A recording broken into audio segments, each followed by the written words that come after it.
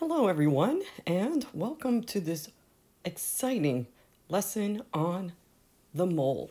Now, the mole, as you took in your notes, is not a furry animal, and it's not a spy, and it's not something that you find on your skin, but rather what it is a mole is just an amount of substance, and it's a certain amount of substance that is found um, that is equal to, not just found, it's equal to the same number of atoms in 12 grams of carbon 12. And the reason that we say carbon 12 because um, that's the mass, atomic mass of carbon. Okay? So that's really all it is. All right. So it's just a counting number. And when it comes to this, there's a specific number that is associated, and that is 6.02 times 10 to the 23rd representative particles. And it's going to take me a lot longer to just write this than it is to actually do the problems particles. Okay, a representative particle. Sure, Mrs. E. What the heck are you talking about? Well, a representative particle is just anything that is present. It's ions, it is molecules, it is, what did I say? Um, atoms and something called formula units. And formula units are just um, like sodium chloride, any ionic compound. Now I want to also go back. This number, I always call it the magic number, is called Avogadro's number. Avogadro's number. Okay? No, as much as you want think, it's not. Oh, that looks like a really weird thing. Let's see. Can I actually draw one? You know what you're thinking? You're thinking of that cute little avocado. It looks like an egg right now, but let me make it. Ah, look, it looks like an avocado, but it's not avocado's number. Sorry, guys. Sad day. No avocados. It's Avogadro. That's the guy's name. Right, moving on. So we're just going to dive right into this, right into the math. Just rip off that band-aid. And it's going to hurt for a little bit, but it's not going to be that bad. So, as you saw in the notes, it said we have 2.80 times 10 to the 24th atoms of silicon and we need to convert it into moles.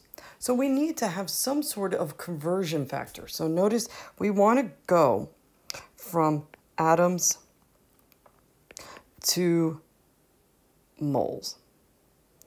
And the conversion factor, what it is, one mole is equivalent to Avogadro's number, 6.02 times 10 to the 23rd atoms. Now, this number down here doesn't change, 6.02 times 10 to the 23rd. What will change are your units depending on what you're solving for. What, Mrs. Z? Don't worry, you're going to be fine. All right, so notice in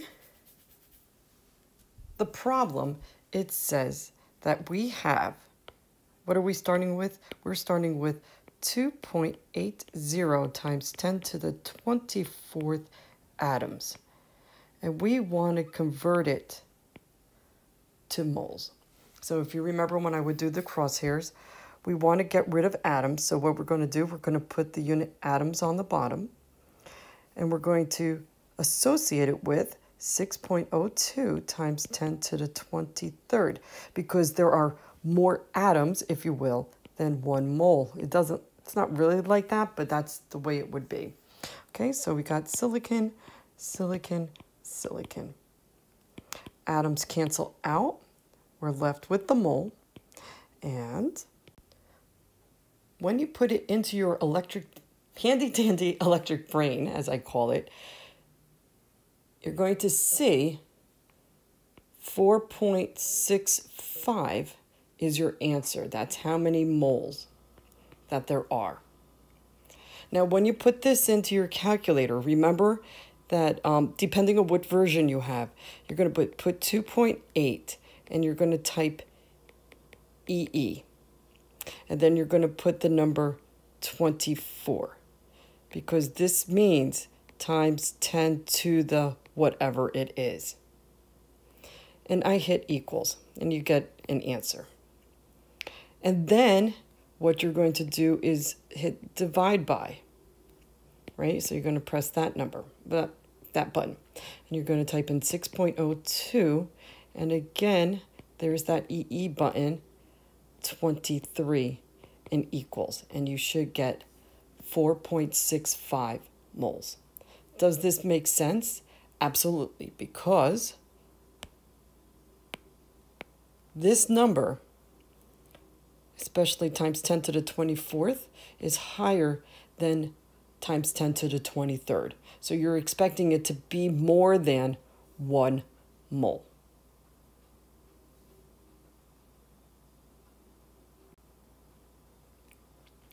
All right, so now we're going the opposite direction. Now we're being asked how many molecules, and we want to go from molecules to moles. Okay, remember this does not mean mole uh, molecules, it means moles. All right, so now we're going to take what we were given in the problem, which was 0.360 moles. And well, we already have moles, so we want to get rid of moles. So where we're going to put it, we want to get rid of it. So we're going to put it on the bottom of the next square. One mole. Notice the number one always goes with the mole. Okay? Now, what is it that it wants? It wants molecules. So, according to Avogadro's number, we want 6.02 times 10 to the 23rd molecules of water. And when you plug that into your handy dandy electric brain, you're going to get 7.2, and chances are you're going to see E20.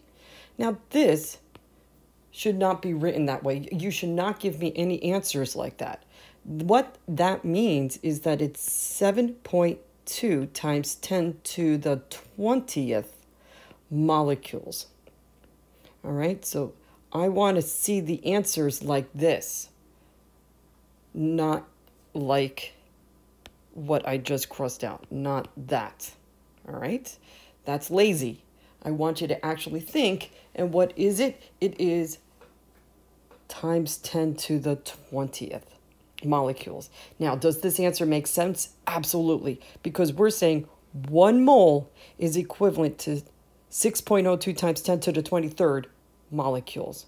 But in this case, what did we start with? We started with less than point, uh, less than one mole of water.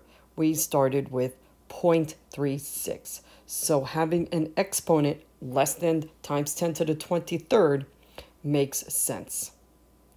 All right. Well, that's all I have for this part of the lesson. For moles, thank you for joining me. I miss you guys. And please remember, when it comes to moles, we are talking about Avogadro's number, and we're not talking about the thing that makes guacamole. I just feel like making that little guy right now. And you know what? You know the deal. Guess what you could draw for me if you want to? You could draw me a happy little guacamole or avocado. All right, guys, take care. I miss you all.